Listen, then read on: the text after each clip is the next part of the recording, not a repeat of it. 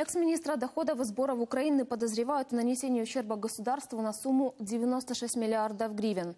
Об этом сообщил главный военный прокурор Анатолий Матиус. Он подтвердил информацию, что Александру Клименко, который находится в бегах, официально сообщили о подозрении. Обвиняют его, в частности, в создании преступной организации. И обвинения в адрес Клименко абсолютно обоснованы, утверждает прокурор.